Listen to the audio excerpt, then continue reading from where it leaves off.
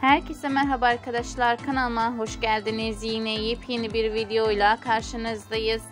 Kirli Sepeti dizisinin kamera arkasından yepyeni kareler geldi. Biz de anında sizlerle paylaşıyoruz.